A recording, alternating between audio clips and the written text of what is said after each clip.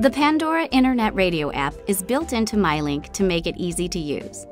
To play Pandora, you need a connected Bluetooth device with the Pandora app and an active Pandora account. Then select Pandora on the touchscreen and the system will tune to the last Pandora station played. You can browse your list of Pandora stations to change channels. The Pandora screen gives you the option of skipping a track or voting thumbs up or down. The Pandora menu gives you options to bookmark an artist or song. Bookmarks are recorded in your Pandora account.